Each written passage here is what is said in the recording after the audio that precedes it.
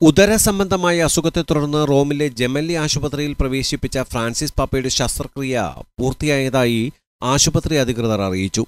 തമാശകൾ പറഞ്ഞുകൊണ്ടാണ് ശസ്ത്രക്രിയയെ പാപ്പ സമീപിച്ചതെന്നും ശസ്ത്രക്രിയയ്ക്ക് ശേഷവും പാപ്പ സന്തോഷവാനാണെന്ന് ഡോക്ടർമാർ പറഞ്ഞു. Good morning to everybody.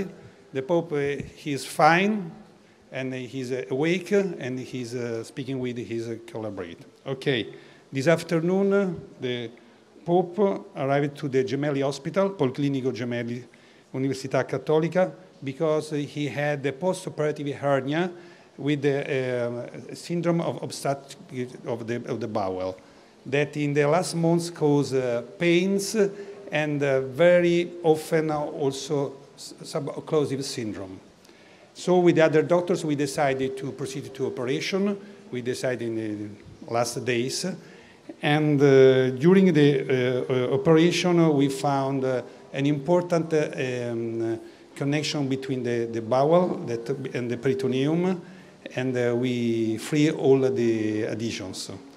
And then uh, we uh, arrived to perform uh, the, with the repair, the defect of the hernia in the, in the normal way. The surgical operation and the general anesthesia were well tolerated by the Pope. Now he's awake, he's uh, fine, and he's uh, already at work. ഹെർണിയെ തുടർന്നുള്ള കഠിനമായ ബുദ്ധിമുട്ടുകളെ തുടർന്നാണ് പാപ്പയെ ആശുപത്രിയിൽ പ്രവേശിപ്പിച്ചത് ശസ്ത്രക്രിയ വിജയകരമാണെങ്കിലും പാപ്പയ്ക്ക് ദിവസങ്ങളോളം ആശുപത്രിയിൽ തുടരേണ്ടി വരുമെന്നാണ് സൂചന എൺപത്തിയാറുകാരനായ ഫ്രാൻസിസ് പാപ്പ വിവിധ അസുഖങ്ങളാൽ ബുദ്ധിമുട്ടുന്നുണ്ട് ശ്വാസകോശത്തിലെ അണുബാധയെ തുടർന്ന് മാർച്ചിൽ നാല് ദിവസം ആശുപത്രിയിൽ കഴിഞ്ഞ പാപ്പ ആ ദിവസങ്ങളിലെ എല്ലാ പരിപാടികളും റദ്ദാക്കിയിരുന്നു. സാധാരണഗതിയിൽ പാപ്പയ്ക്ക് ഏഴ് ദിവസത്തോളം ആശുപത്രിയിൽ കഴിയേണ്ടി വരുമെന്നാണ് സൂചന.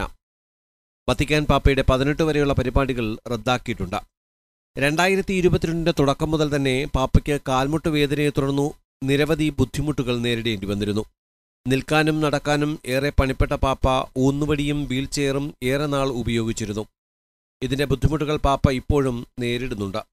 രണ്ടായിരത്തി ഇരുപത്തിയൊന്ന് ജൂലൈയിൽ വൻകുടലിലെ വീക്കത്തെ തുടർന്ന് പാപ്പയെ ശസ്ത്രക്രിയയ്ക്ക് വിധേയനാക്കിയിരുന്നു.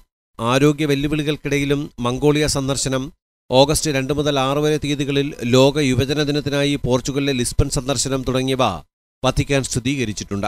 അതേസമയം പാപ്പയുടെ ആരോഗ്യത്തിനായി ലോകമെമ്പാടും പ്രാർത്ഥനയും ഉയരുകയാണ്. വത്തിക്കാൻ ഡെസ്ക് ഓക്സ് ന്യൂസ്.